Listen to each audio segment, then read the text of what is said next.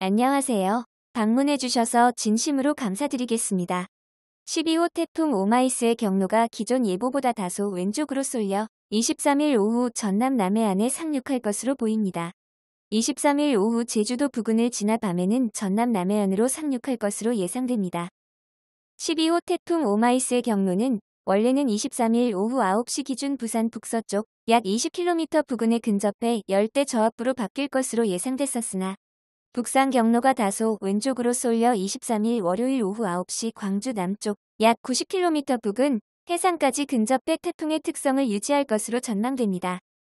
이에 따라 태풍의 직접적인 영향으로 광주와 전남 지역에는 23일 월요일에서 24일 화요일 시속 35에서 60km 순간 최대 풍속 시속 100km에 매우 강한 바람이 불 것으로 예상됩니다.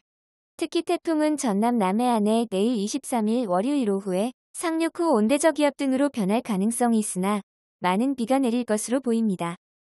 예상 강수량은 23일에서 24일 광주, 전남 지역에 100에서 300mm로 지리산 부근 등에는 400mm 이상 폭우가 예상됩니다.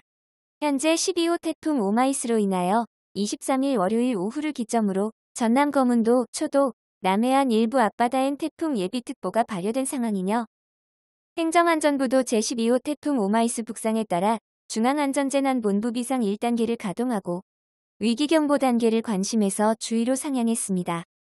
따라서 강한 바람으로 인한 건설 현장, 비닐하우스 등 시설물 파손에 각별한 주의가 필요하겠고 또한 지형적인 영향으로 도심 건물과 건물 사이서 바람이 더욱 강해지는 경향이 있으니 간판이 떨어지거나 야외 설치물, 유리창 파손 등 2차 피해가 발생하지 않도록 시설물 점검에 대비해야 하겠습니다. 광주 전남에서 비를 동반한 흐린 날씨는 8월 말까지 계속될 것으로 보입니다.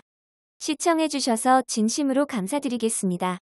구독과 좋아요 알람 설정을 꼭 부탁드리겠습니다. 이 채널을 운영하는 데에 큰 힘이 됩니다. 감사드립니다.